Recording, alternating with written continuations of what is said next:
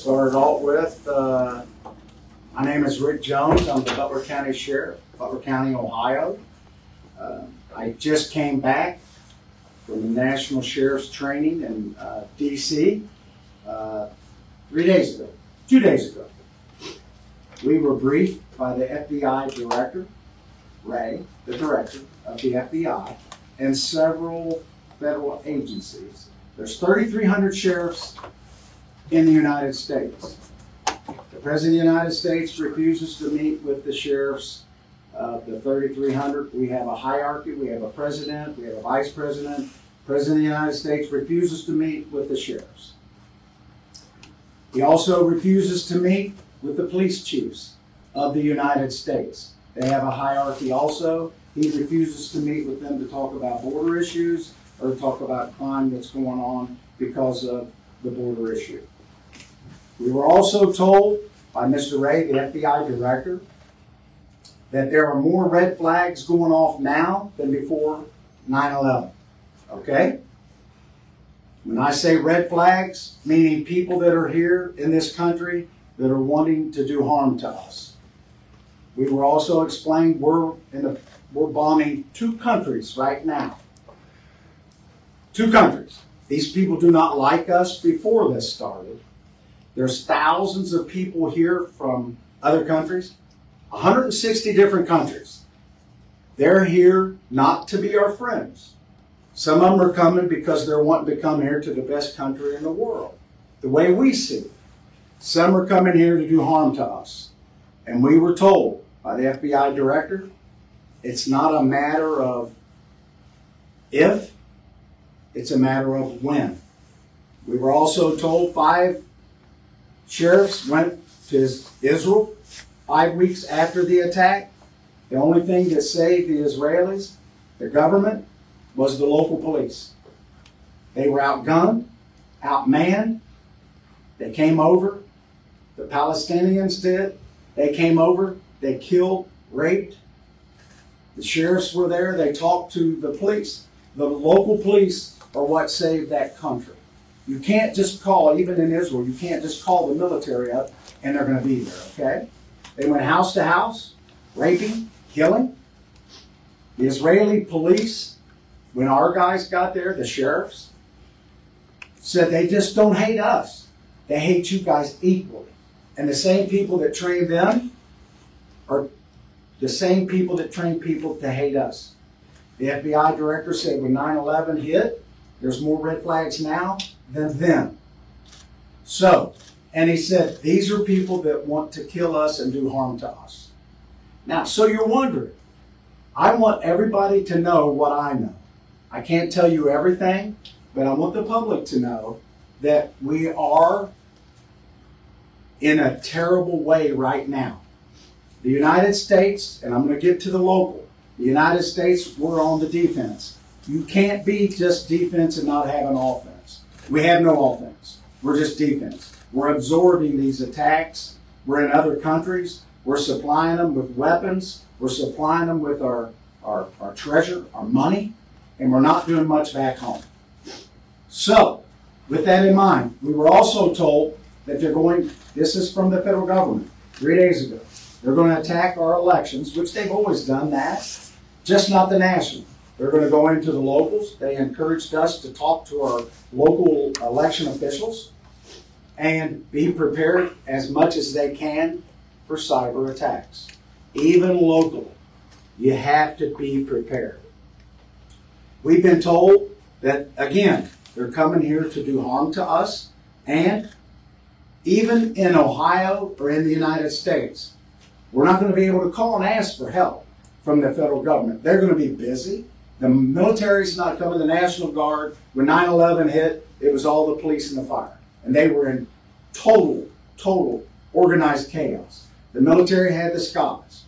And I don't want, somebody asked me, Am I like Doomsday Jones? And I said, No. It, it, it, I'm not like Chicken Little. I want you to know what I know. And if you don't believe what I'm telling you, that's okay. You can do what the Israeli citizens done. You can build a little safe house in your basement. And good luck. Uh, now, get to where we've been attacked here in Butler County, you're going to think, well, we've never been attacked. We have. The Russians attacked our system, our electronic system, our computer system. They hacked it. They also are trying to hack just not ours. And they, we were down for two months, just a paper. Hacked our dispatching, hacked everything. Now, was that to help us? No, it wasn't to help us. It was to hurt us and cause chaos. As we speak today, the Russians are still attacking our computer system, just like they're attacking most of yours. But I want the public to know this.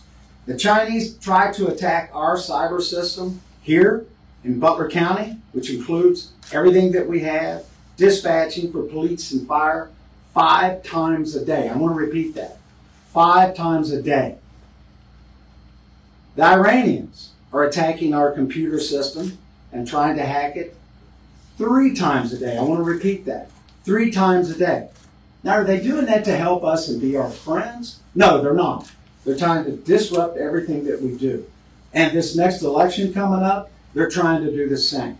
So, what we're doing here is we've got rifles in every police vehicle we have. We have what we call a go bag. We have extra magazines. And we're going to start training civilians. We've offered uh, classes to train civilians. And we're going to start training civilians on what to do when disasters hit and emergencies hit. Naturally, we can't train the whole country. We can't train the whole county. We put this up online yesterday. It's full. We can do like 30 people at a time. We're trying to get it, and the organization that is doing that is um, uh, Texas A&M. They're coming here. The federal government's paying for it. They're going to train 30 civilians on what to do when disasters hit. 30 out of 400,000 people is not much. So we're trying to get more classes. Don't want to cause fear. Don't want to cause panic. But I want the public to be aware that you are under attack. And when they're attacking, they're trying to get our cyber system. We have a grid system. Butler County does, the whole United States. Hell, our grid system goes out when it gets hot. So, and our grid system is from the 1960s. And they're trying to attack our phone system. The Chinese are flying over with their little balloons. That's not to help us and help us do some weather direction. And all we're doing is we're on the defense. We're absorbing this. And these other countries that are attacking us overseas, it's a lot of drone attacks. Getting to drones.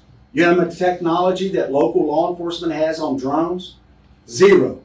We can fly drones, and most police departments and sheriff's offices have drones.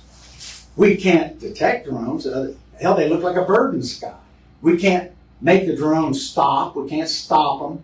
When you see football games on TV, the national football games, they call timeout to stop the drones. Hell, my grandkids have drones. Everybody has drones. We have no technology. The federal government doesn't share any of the drone technology with us. So what we're going to do is we're reaching out to the private industry and we're going to see if we can get anything that can detect drones and how we can stop drones. Now, again, it's not to scare people. This is the truth. Everybody in this room, the news media, you guys get hacked. You try to get, they try to hack you. One of the local channels in Cincinnati was hacked. They were down to paper for several, several weeks. Just paper. When we were hacked, we were down to paper. Our computer system, our dispatching, all hacked. Again, that's being attacked by foreign countries. You wouldn't think that a foreign country would be attacking us. The public needs to know we're being attacked every day. Now, people that are here to do us harm, do we expect? I've been to the border three times. People are not just turning themselves in, they're actually called gotaways. And some of them are getting through with backpacks and packs. Now, are they bringing groceries with them? We don't think so. We believe the ones that don't want to get caught, there's a reason for that. We believe they're a good, strong possibility they're bringing something here to cause us harm. You have to believe that. China has safe houses in every state in the United States. Now, after I discuss that, I'm going to take questions. But there's three things I'm going to be asking the state of Ohio to do. On the offense, not just the defense. I've reached out to State Representative Sara Carruthers, and I've reached out to State Representative uh, Cindy Abrams, two state representatives, and I've asked them, I've instructed them, and you're going to receive a copy of it, that there's three things I'm asking the state to introduce legislation on. One is the northern border. You think that we don't have a border, but we do. We border Canada. So what happens is the um, uh, border security have been pulled, uh, a lot of them, a large portion of them, quite a few of them, to go to the southern border. So what happens when we do that? Drugs are coming back across more the northern border. People are coming across. Water and land. With that in mind, I want you to keep in mind, I'm asking that the, there be legislation introduced and that the governor appoint a task force to do interdiction on people and drugs coming in across our waterways and our borders into the state of Ohio. Texas has done some of the similar. So the fentanyl has decreased by 40% from Texas and moved over to Arizona. So it's coming across. I was told five and eight pills that are coming across into this country have fentanyl in them, the illegal pills. China helps the Mexican government with the fentanyl that comes into our country. Again, they're trying to help us out. Uh, they're our friends. 5,000 people die a year in Ohio, fentanyl poison. 100,000 die a year in the United States. Our government is doing nothing to stop it. We're on the defense. Number one, that we have a border security task force. Number two, I'm asking that the two state representatives introduce legislation that will also uh, form a full-time, 24-hour a day uh, cyber security, not part-time. Every department has their own. We don't communicate with anybody. If we're going to be attacked, which we're getting every day, I assume everybody is. I'm asking that these two state reps introduce legislation that we have one cybersecurity czar that's full-time, nonstop, 24 hours a day. They're attacking us all. Third, very important, I'm asking that legislation be introduced like in Texas, that if you're pulled over or stopped in the state of Ohio, that there be legislation, the law changed, that you can be charged with a state felony charge of being here illegally and you can be arrested and charged. Those three things. Now, I come to you not to alarm you, but to arm you. I want you to know what's going on. None of this I've made up. This is being told to us. And the reason it's being told to us, because 9 11, they knew it was coming. And none of us knew. No communications with local law enforcement. We can't do anything with drones. We have drones, but we're going to. And we're going to do everything we can to protect our community, to keep our life squads, our fire, our dispatching, if you've ever lost your phone or your battery goes dead, everybody freaks out. Imagine if you can't use your cell. Now, uh, again, they're getting into our cyber, and that's what our country. That, you can't pump gas without electricity. You can't pump water without electricity. So, they're doing this to us. These are the three things that I'm going to ask these state representatives. I've been in communication with them. You can reach out to them. They'll be waiting for the conversation. And this is just a beginning. And again, I've instructed my IT people to start looking at ways that we can detect drones and what we can do to stop drones. I don't know if there is any technology. Our government doesn't even have enough. Now, I will take questions at this point. Any questions you got? Yes, sir. Good morning, Sheriff Jones. Yes, sir. It's an honor to be in your presence today. Um, if given the opportunity to talk to the president, uh, through your organization, the Sheriff's Association, what are some of the things you would like to talk to him about? The question was, what would I talk to the president about if I had an opportunity to meet with him? I would ask him to please close our borders, help us out. It's not just, they're not staying in these border states where they're coming across. They're coming in. Every state is a border state.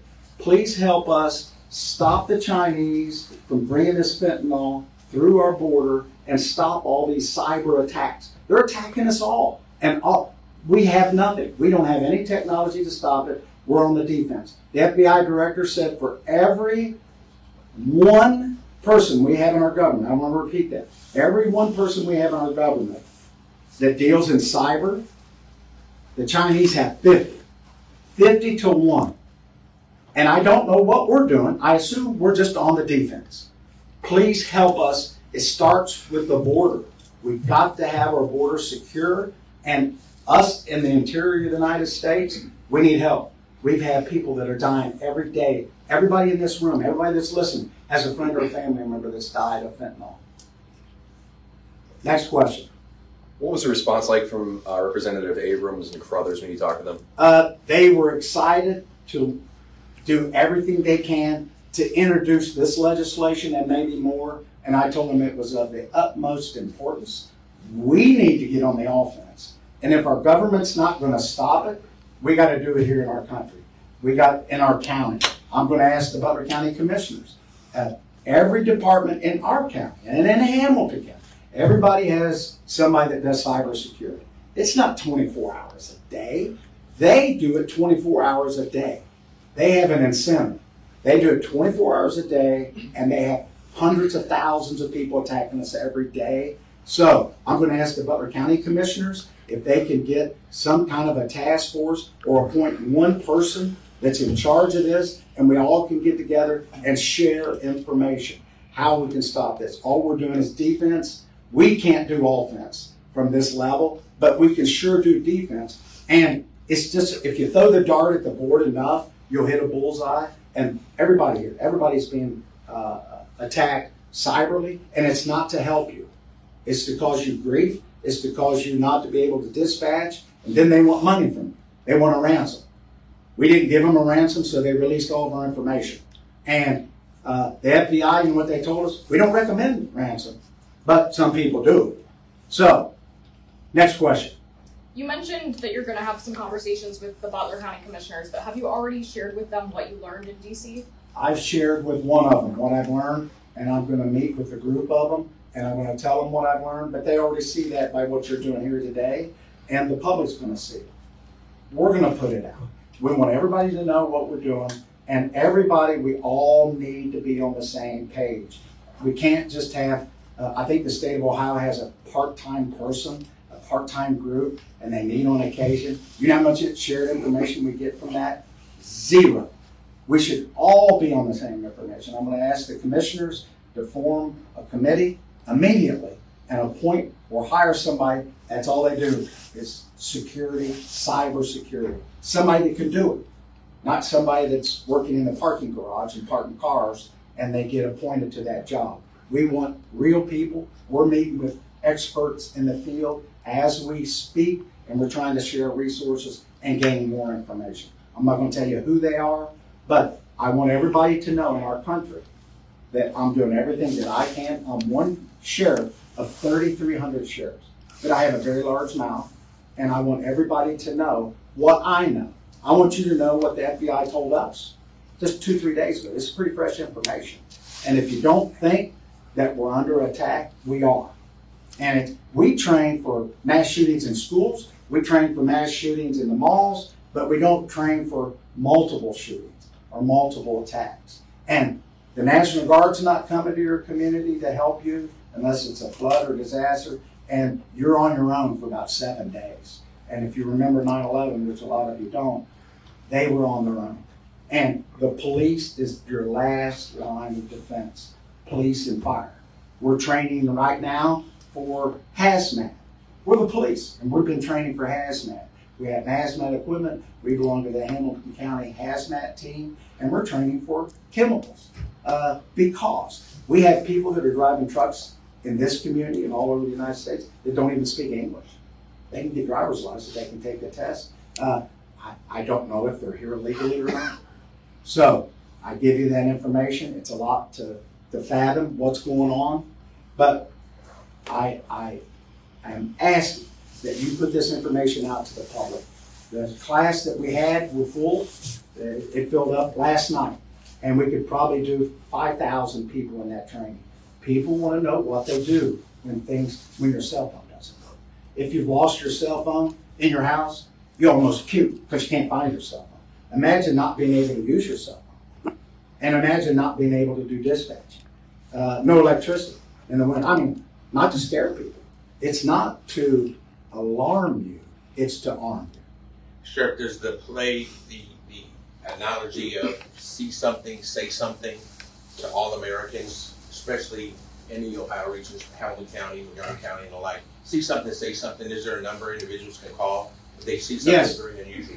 There is, and we're gonna give that to you before you leave. There's a number to call. And we, uh, had an incident, uh, a week ago, and we depend on the public. We put information out all the time. We communicate with the media. You help us get that information out when we're looking for people. When people are murdered and there's mass shootings and we're looking for suspects, we have to determine, can we put that out? Should we put it out? We need to put it out, and we depend on you to put that out. And if you do see something, pay attention to where you're going. Pay attention to what you're doing. Pay attention to who lives next door to you. And people are here to do us harm. And that's not a scare tactic. They are. They come across the border, and they're not coming across and all turning themselves in. These are people that are coming across to cause us havoc. You can't just be poor and walk across the border because you come from a poor country. The drug cartel controls that. They will kill you. Uh, you have to pay, either be an indentured servant or your family. They will kill you. And the Mexican government is not our friends. They're not here to help us. They're not in charge anyway. It's the drug cartel. Next question. What are some of the basic bare necessities people need to do to be prepared? Uh, if, if they can't go to your class, what Here, I, I'm going to tell you some basic things you need to do to prepare. Just like when the power goes out or there's a tornado, they always tell you to keep enough food and water in supply. And I- this isn't doom and gloom. This is common sense. Uh, you might want to look at as far as your phones if they're working. If you don't have electricity, they have batteries, but they're only good for so long. You might look at solar charging devices. You might look at some foods that you can get that you can just mix up, like when you go camping or survival. We're not to that point, but we need to be prepared, and you need to look at it, and you need to. Uh, most people would freak out without their cell phones, and if you can't dispatch the police, um, our towers are down. They're hacking our communication system. I mean, I'm not making that up, and they're trying to hack yours. They don't. They want us to be in chaos. They're trying to hack our elections, local elections. If local elections have issues, they always talk about the national, but they want you to feel it in the heartland. Really scare the hell out of you. Next question. You mentioned some of the training that your deputies are doing. Is there other additional training that you're looking to implement because of what you've learned? Yes, some of the training is the drone technology. We're trying to get that on our own because the government won't give it to us. So we're trying to get the technology there. We're looking at maybe squad training. We train when you, for school shootings, what to do when we get there, or mall shootings. We're going to look at things a little differently when we get there. Maybe squad training. We're going to ask uh, the government if they can share with us, but they're kind of busy. Uh, they they hire the wrong people. They're not. They're not. They're, they're just on defense. They've hired like 35,000 IRS agents. Well, good for them. Uh, I guess they need more tax money. We need infrastructure help in our country. There's going to be an additional 100 million people in 25 years in the United States, almost a third of our population. We're not building bridges, highways, the, the infrastructure. We're not doing anything on our grids, nothing. So, uh, we're doing lots of training, and some of this is not my responsibility. I'm not in charge of the U.S. government. I'm not in charge of the state of Ohio. But these state representatives, uh, we do a lot of uh, things in our government, and we fight over silly things. Uh, we done an in, in, they tried to do an impeachment on this Mayorkas, or however the hell you pronounce his name. And there's a lot of important things to do, uh, and nothing happens if they do that anyway. All we do is fight over silly things. We need to get together and get some things done to protect our country, most importantly, for our safety. In Maslow's hierarchy of needs, if you went to school and you remember that, water, air, food, safety, right up at the top, in the top pyramid. And we are not abiding by those safety things. We are in defense, not one piece of offense. Our military is on defense. We're absorbing drone attacks, and before we attack back, we call them and tell them, hey, we're going to be there in about a week. You might want to empty your warehouse out. We need help here locally. You do, we do. That concludes the press conference at this time. We'll take any questions or anything anybody needs after it's over. Thank you very